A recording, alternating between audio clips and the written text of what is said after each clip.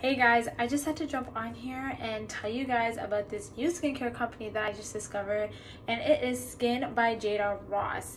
I've been using their turmeric face scrub and their vitamin C serum in my skincare routine and I have been loving it.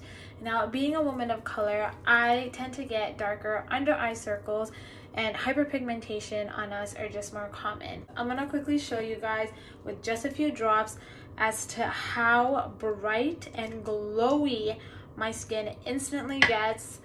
It says to apply a generous amount. I think that's good. I'm gonna just quickly show you guys. Oh, and it feels so hydrating. Oh my goodness, like look at that. Look at that. My skin is honestly just instantly glowing and so bright. Like that is amazing. And it's so hard to find products that actually work for dark circles. But this is, oh, I love it. Like, look at that.